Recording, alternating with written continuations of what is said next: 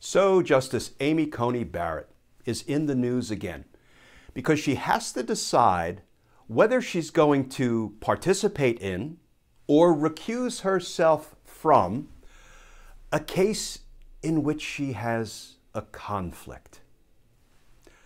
Let's talk about that. Because justice matters.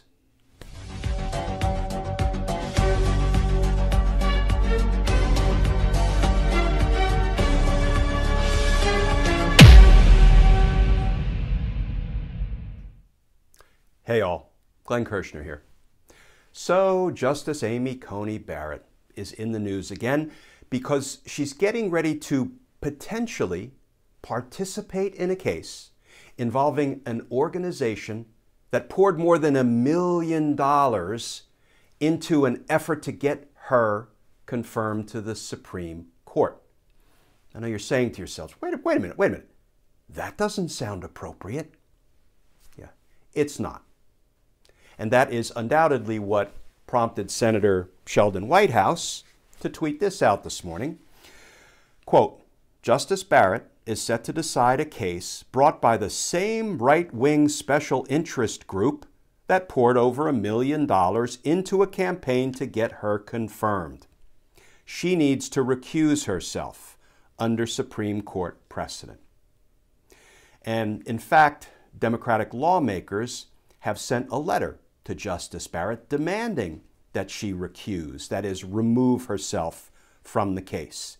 And here is how that letter was reported out by NPR.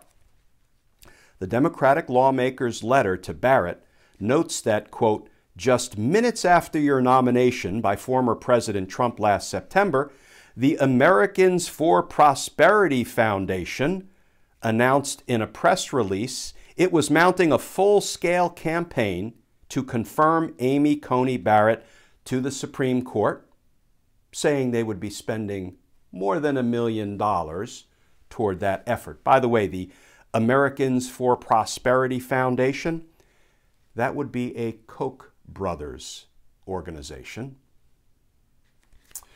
And now Amy Coney Barrett will potentially get to preside over a case that will either help that organization or hurt that organization that poured a million dollars into her confirmation campaign. How cozy! How ethically bankrupt! Oh, and by the way, the case itself, folks, involves the question of whether nonprofit organizations like this one can hide from the federal government the identity of their high dollar donors. No, you can't make this stuff up. Now, maybe Justice Barrett will recuse herself from the case, and maybe she won't. But what does this debacle once again highlight? It highlights the need to increase the number of justices on the Supreme Court. Nine is not a magic number. You can read the Constitution front to back, back to front, and nowhere does it say, there shall be nine, and the number of the counting shall be nine. That's loosely stealing from a Monty Python movie. There's nothing that requires a fixed set number of nine justices on the Supreme Court. In fact, during our nation's history, we've had as few as five, we've had as many as 10.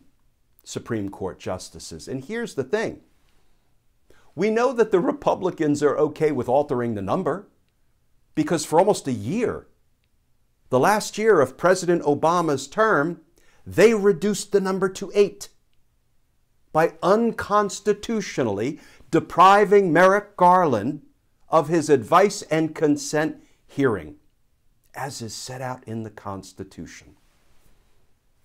I predict they'll rue the day they did that, now that Merrick Garland is Attorney General. And, you know, Bill Barr's de facto immunity for all Republicans is no more, but I digress. But we know that the Republicans were happy with eight justices for a year when they unconstitutionally deprived Merrick Garland of his advice and consent hearing. So, in order to address Mitch McConnell's nefarious court packing that we all saw in the harsh light of day, it's time to increase the number of justices on the Supreme Court. Not in an underhanded way, the way McConnell did, but we're going to do it the right way.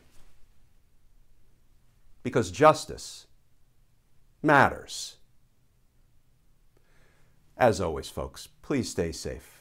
Please stay tuned. And I look forward to talking with you all again tomorrow.